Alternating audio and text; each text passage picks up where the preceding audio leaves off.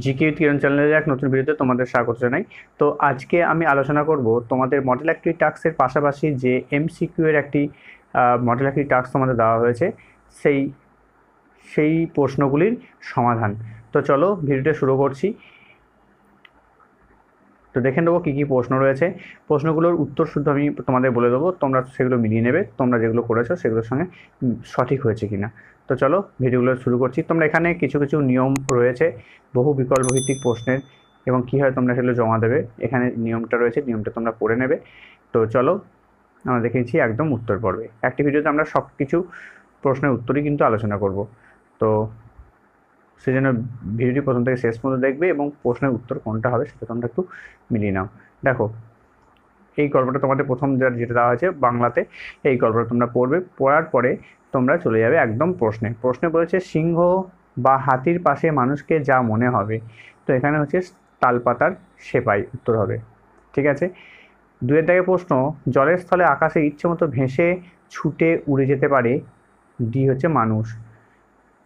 তারপর দেখো বলবান বাঘের ভরসা অপশান ডি হচ্ছে নিজের মাংসপেশি। চায়ের দাগের প্রশ্নের উত্তর, গায়ের জোরে থাকে, কাবু করা যায় না, এটা হচ্ছে মানুষ। পাশে থেকে প্রশ্ন হচ্ছে হারের বিপরীত শব্দটি হলো জিত অপশান বি হচ্ছে উত্তর। এরপর দেখো, এখানে ছয় দিকে প্রশ্ন বলেছে, ছবিগুলিতে মাংসাশী প্রাণীটি হলো, এখানে হচ্ছে নেকড়ে। ছবিগুলিতে কজনের হাতে লাঠি দেখা যাচ্ছে উত্তর লিখবে তোমরা দুজনের হাতে লাঠি দেখা যাচ্ছে। রাখাল গবাদি পশু চড়াচ্ছিল, কোথায়? পাহাড়ের কোলে। নেকড়ে আক্রমণ করেছিল ভেড়াকে। ছবিগুলিতে ছাগলের মোট সংখ্যা, দুটি। এরপর তোমাদের এখানে আর একটা গল্প দিয়েছে, সেই গল্পটা তোমরা পড়বে। পড়ে এই যে উত্তরটার প্রশ্নগুলো দেওয়া আছে, সেই প্রশ্নগুলো উত্তর লিখবে। দেখো, এগারো দাগের প্রশ্ন বলছে, কাঙ্গারু প্রধানত পাওয়া যায় উত্তর হবে অস্ট্রেলিয়ায়। কাঙ্গারু বিস্ময়কর প্রাণী কারণ তার বাচ্চা বহন করার থলি আছে। বাচ্চা কাঙ্গারু কাঙ্গারুর গায়ের রং হচ্ছে গোলাপি। প্রাপ্তবয়স্ক কাঙ্গারু লম্বা হয় প্রায় দু মিটার। লালন পালন শব্দের অর্থ অর্থ হচ্ছে বড় করা। এবার আসছে আমাদের গণিতের প্রশ্ন। গণিতে বলে দিয়েছে নশো সাত, সাতশো নয় নশো সত্তর সাতশো নব্বই সংখ্যাগুলোর মধ্যে কোনটি সবচেয়ে বড়? এখানে হচ্ছে নশো সত্তর হচ্ছে বড়। তারপর দেখো, বারো, দশ, তেরো, ষোলো, আঠেরো, কুড়ি, এদের মধ্যে কোনটি বিজোড় সংখ্যা? এখানে বিজোড় সংখ্যা হচ্ছে তেরো। তারপর দেখো, এখানে ছবি রয়েছে, সেখানে হচ্ছে উপরে কোনটিতে সবচেয়ে বেশি বল আছে? সেখানে আট নাম্বার, অর্থাৎ চার নাম্বার ছবিতে তোমার বেশি বল আছে, তো ঘরেরটা হচ্ছে উত্তর। তারপর দেখো, এদের উদ্যোগক্রমে সাজালে কোনটি সঠিক? তো একশো তেত্রিশ উদ্যোগক্রম কথা অর্থ হচ্ছে ছোট থেকে বড়, ঠিক আছে? তো একশো তেত্রিশ, তিনশো তিন, তিনশো তেরো, তিনশো তেত্রিশ। এটা হচ্ছে সঠিক উত্তর গয়েরটা হচ্ছে সঠিক উত্তর। পাঁচের দাগেরটা বলেছে, দেখো, এখানে জিনিসগুলোর দাম দেওয়া আছে। তারপর দেখো হচ্ছে আম, কলা আর পেয়ারার দাম কত? উত্তর লিখবে পাঁচশো ছেচল্লিশ টাকা। এগুলো সব কটা যোগ করে পাঁচশো ছেচল্লিশ আসবে, ঠিক আছে? তারপর দেখো ছয়ের দিকে প্রশ্ন, রিতা দোকান থেকে দু প্যাকেট বিস্কুট কিনে আনলো। এক প্যাকেট এক প্যাকেটে দশটি বিস্কুট আছে। সেখান থেকে ভাইকে চারটি বিস্কুট দিল। নিচের কোনটি ঠিক? দেখো, দু প্যাকেট দু প্যাকেট বিস্কুট এনেছে, একটি প্যাকেটে দশটা করে আছে। তাহলে কুড়িটা বিস্কুট, তো দশ গণিত দুই গণিত দশ লিখতে হবে। আর তার থেকে ভাইকে চারটি দিয়েছে মানে চার বিয়োগ করতে হবে। তাহলে এটা হচ্ছে সঠিক ঘরেরটা। এবার দেখো, ছটি কোনটা বাজছে? তিন নাম্বার ঘড়ি দেখো, ছটি বাজছে। তারপর দেখো, কোন ছবিটিতে ঠিক দুটি ত্রিভুজ আছে। দুটি ত্রিভুজ আছে, দেখো এক নাম্বার ছবিতে, একটা ত্রিভুজ একটা ত্রিভুজ। কিন্তু এইগুলোতে অনেকগুলো করে ত্রিভুজ রয়েছে। এখানে তো ত্রিভুজ নেই, আর এখানে দেখো তিনটে ত্রিভুজ রয়েছে। এই একটা ত্রিভুজ, এই একটা ত্রিভুজ, আর বড়টা একটা ত্রিভুজ, ঠিক আছে? তো সেই জন্য এক নাম্বার ছবিতে একটি ত্রিভুজ রয়েছে। দুটি ত্রিভুজ রয়েছে, ঠিক আছে? নয়টা দেখো, কোন সংখ্যাটি তিন দিয়ে বিভাজ্য? তো তিন দিয়ে ভাগ করে দেখো একুশকেই মিলবে, ঠিক আছে? বাইশ, চল্লিশ তেইশগুলো কিন্তু তিন দিয়ে ভাগ করে মিলবে না। দশের থেকে প্রশ্নে, এক মিনিটে কাঁটা সম্পূর্ণ ঘুরে, এখানে লিখবে চব্বিশ বার।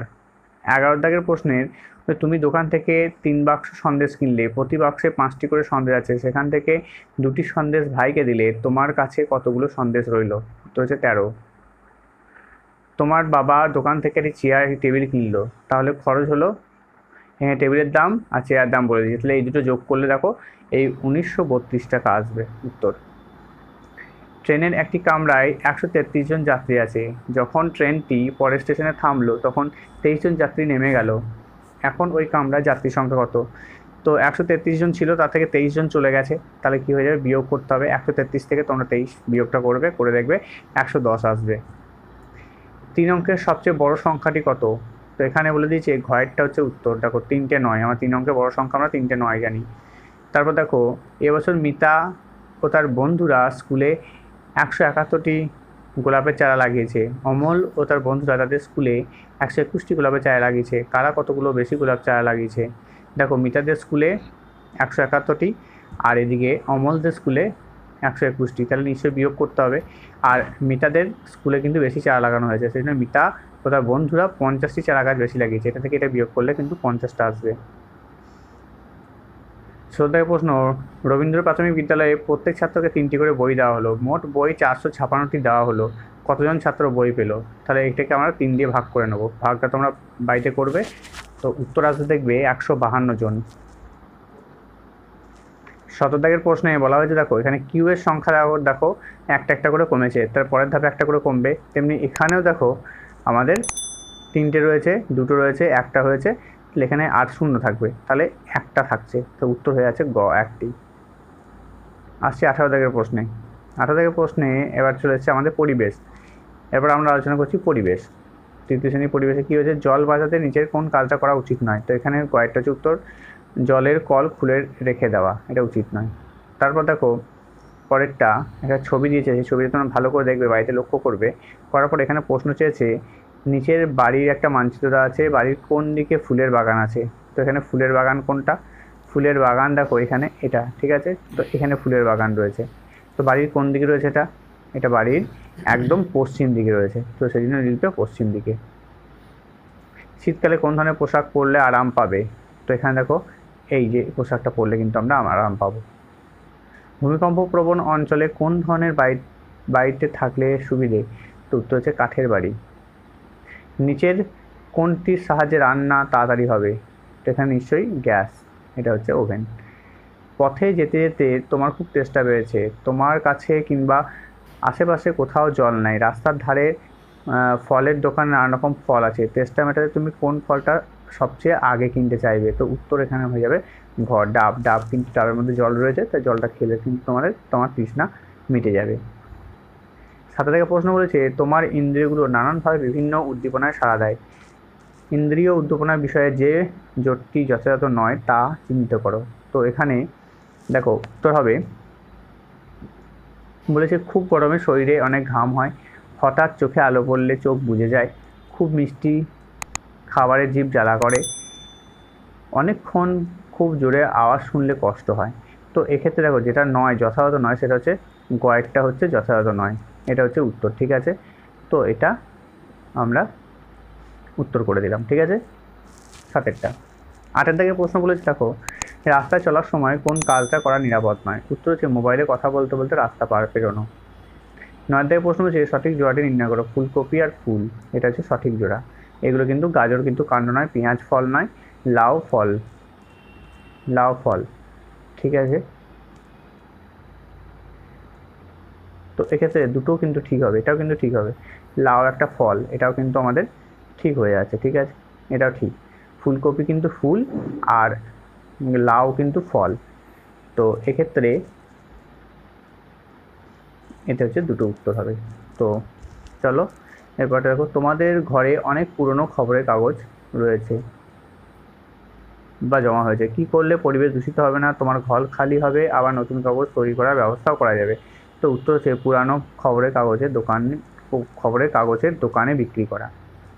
তো এরপর দেখো, এগারো থেকে প্রশ্ন। ছবিতে দেখা যাচ্ছে একটি বাড়ি, একটি মাটির বাড়ি তৈরি হচ্ছে। বাড়ির চাল ছাওয়ার জন্য প্রকৃতি থেকে সরাসরি পাওয়া যায় এমন একটি, এমন কোন উপাদানটি ব্যবহার করা হচ্ছে? তো এখানে দেখতেই পাচ্ছ খড় ব্যবহার করা হচ্ছে। তো উত্তর হয়ে যাচ্ছে খড়।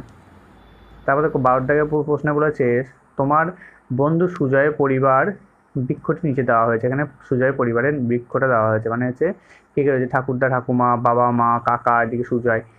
তো রেখাচিত্রটি পর্যবেক্ষণ করে নিচে প্রশ্নটি উত্তর দাও। এখানে বলেছে, সুজয়ের কাকা বিয়ে করার পর তার একটা মেয়ে হলো। সুজয়ের বাবা বাচ্চা মেয়েটির কে হন? তো কাকা যদি একটা মেয়ে হয়, তাহলে এই সুজয়ের বাবা সেই মেয়েটার কে হবে? তাই জেঠু হবে নিশ্চয়ই। তো উত্তর তোমরা লিখবে জেঠু। ঠিক আছে। তো চলো এরপরেটা দেখে দিচ্ছি। তাদের প্রশ্ন বলেছে, সবিতা প্রতিদিন সকাল সাতটায় কাজে যায়। পোশাক দেখে বলো তো সবিতা কোথায় কাজ করে? এখানে হসপিটালে কাজ করে? করে নার্সের পোশাক রয়েছে, ঠিক আছে?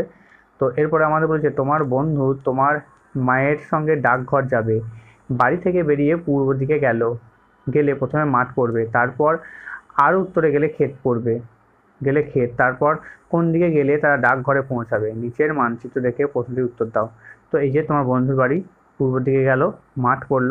তারপরে এদিকে গেল, এটা ক্ষেত পড়ল, এখানে দেখো ক্ষেত দেওয়া আছে, এটা ক্ষেত। তাহলে এখানে দাঁড়িয়ে কোন দিকে গেলে পরে আমাদের ডাকঘর পড়বে, ঠিক আছে?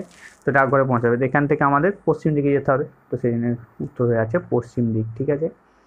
তো এরপর আমরা চলে আসছি পনেরো প্রশ্ন, নিচের কোন ক্রমে তোমার ছায়ার দৈর্ঘ্য বড় থেকে ক্রমশ ছোট হবে? দেখো সকাল সাতটাতে আমাদের ছায়ার দৈর্ঘ্য বড় থাকে, তারপর সকাল দশটাতে একটু কমে যাবে, দুপুরবেলা দুপুর বারোটার সময় কিন্তু সব থেকে কম হয়। তো এটা হচ্ছে সঠিক উত্তর ঘয়েরটা হচ্ছে সঠিক উত্তর। তো চলো এখানে তোমাদের এমসিকিউ পর্ব শেষ হয়ে যাচ্ছে। ভিডিও ভালো লাগলে লাইক করবে বন্ধুর সঙ্গে শেয়ার করবে চ্যানেল নতুন হয়ে চ্যানেলটা সাবস্ক্রাইব করে রেখে দেবে। এই জন্য ভিডিও নোটিফিকেশন পাওয়ার জন্য।